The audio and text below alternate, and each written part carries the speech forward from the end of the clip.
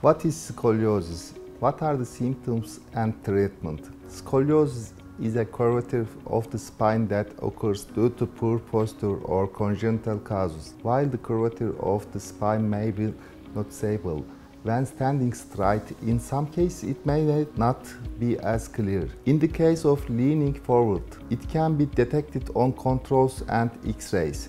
In this case, the angle of curvature should be determined by examination and radiological X-ray.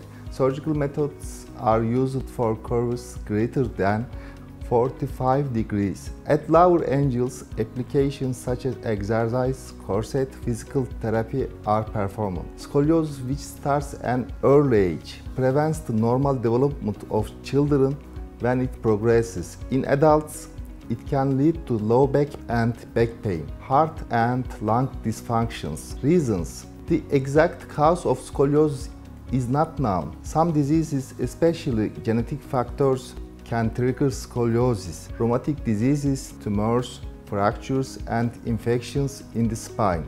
Metabolic disorders, deformations in bones and soft tissue can be counted among the causes.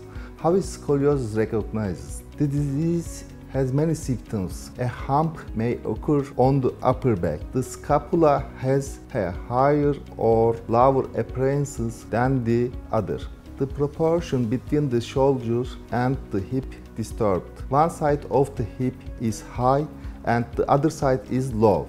All these are among the most common symptoms. We can last fatigue, waist, shoulder, hip pain and shortness of breath among its symptoms. Treatment of the disease differs from person to person. Usually when the curvature is low, options such as corset use, medication or exercise are applied. The angle of curvature should be determined by examination and radiological X-ray. Surgical methods are used for curvature greater than 45 degrees.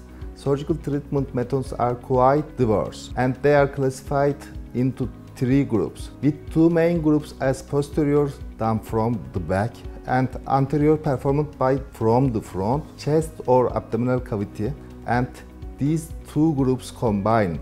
Which method will be applied depends entirely on the characteristics of the patients and the curvature and the preference of the surgeon.